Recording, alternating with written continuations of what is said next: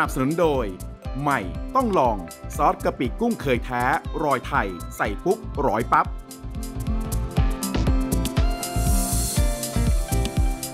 สวัสดีค่ะ คุณผู้ชมมาตรวจสอบสภาพอากาศกับ TNN Earth กันนะคะ กลางสัปดาห์นี้อากาศค่อนข้างแปรปรวนค่ะ เพราะว่ามวลอากาศเย็นมีกำลังอ่อนลง ก็เลยส่งผลทำให้ลมตะวันออกและลมตะวันออกเฉียงใต้ พัดพาความชื้นจากทะเลเข้ามาปกคลุมนะคะ เพราะฉะนั้นช่วงวันที่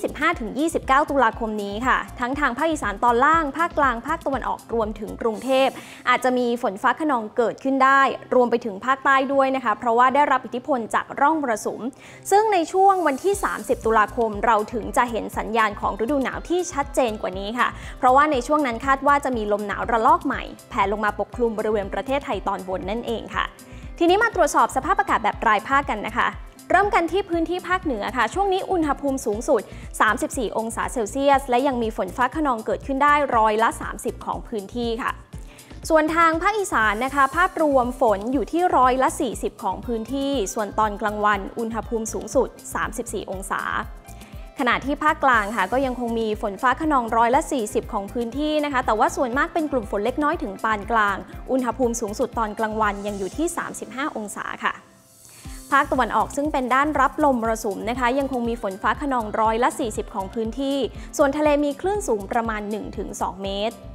ลงมาดูทางภาคใต้ค่ะ มีฝนอยู่ที่ร้อยละ 40ถึง60 ของพื้นที่ ส่วนมากจะไปตกหนักทางภาคใต้ฝั่งอ่าวไทย ทะเลทั้งสองฝั่งคลื่นสูงประมาณ 1-2 เมตร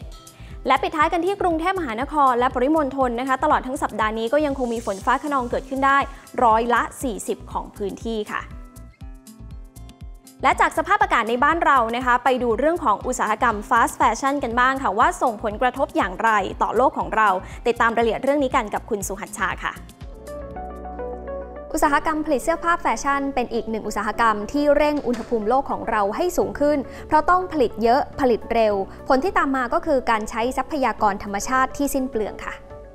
ล่าสุดรัฐบาลฝรั่งเศสเล็งเห็นถึงปัญหานี้ จึงพยายามจูงใจให้ประชาชนใช้เสื้อผ้ารองเท้าเก่า เพื่อลดภาวะโลกร้อนจากสินค้าแฟชั่น รัฐบาลฝรั่งเศสวางแผนว่าตั้งแต่เดือนตุลาคมนี้ รัฐบาลจะอุดหนุนค่าซ่อมรองเท้าปีละ 7 ยูโร หรือคิดเป็นเงินไทยประมาณ 271 บาท และค่าซ่อมเสื้อผ้าอีก 10ถึง25 ยูโร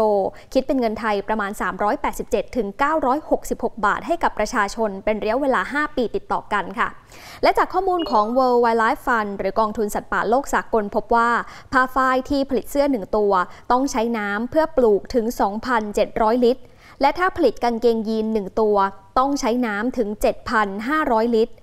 นอกจากนี้อุตสาหกรรมผลิตเสื้อผ้าแฟชั่น มีส่วนในการปลดปล่อยคาร์บอนถึง 10%ของโลก ซึ่งมากกว่าการปลดปล่อยคาร์บอนของการบินระหว่างประเทศ กับการขนส่งทางเรือรวมกันอีกค่ะ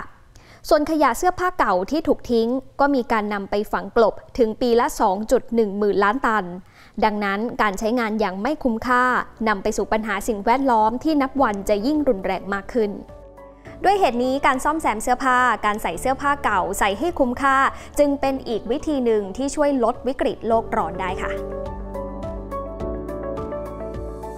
และปิดท้าย TNN Earth วันนี้นะคะ พาคุณผู้ชมไปดูที่สาธารณรัฐเช็กค่ะ ในช่วงปลายปีแบบนี้ชาวเช็กเริ่มที่จะออกมาหาปลาคาร์ฟกันมากขึ้นนะคะ เพื่อเตรียมไปใช้ในการฉลองคริสต์มาสค่ะ สำหรับที่สาธารณรัฐเช็กรวมถึงหลายประเทศทางยุโรปตอนกลาง อาหารคริสต์มาสแบบดั้งเดิมก็คือปลาคาร์ฟทอดและสลัดมันฝรั่ง ซึ่งมักจะรับประทานระหว่างอาหารค่ำวันคริสต์มาสอีฟทำให้ตอนนี้ชาวเช็กเริ่มที่จะจับปลาคาร์ฟเพื่อเตรียมพร้อมสำหรับการฉลองในช่วงปลายปีแล้วค่ะ แต่ว่าปีนี้อาจเจอปัญหาอยู่บ้างเพราะว่าการเปลี่ยนแปลงของสภาพอากาศ เนื่องจากอากาศร้อนจัดในช่วงฤดูร้อนที่ผ่านมาทำให้อัตราการตายของปลาเพิ่มขึ้น รวมถึงสภาพอากาศที่แปรปรวนในทุกๆ ฤดูที่ผ่านมาด้วยทำให้วงจรการเติบโตของปลาคาร์ฟสั้นลงประมาณ 1 เดือนค่ะ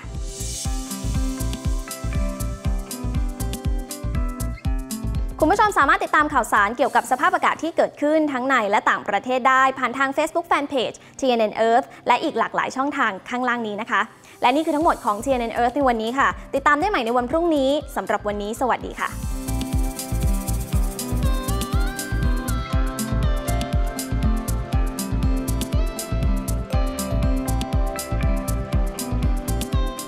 ขอบพระคุณที่ติดตามรับชม TNN Earth นะคะ ฝากคุณผู้ชมกด subscribe กดกระดิ่ง กดไลค์ กดแชร์ทุกช่องทางออนไลน์ของ TNN ช่อง 16 เพื่อไม่ให้พลาดการติดตามรับชมรายการสด และคลิปวิดีโอที่น่าสนใจอีกมากมายค่ะ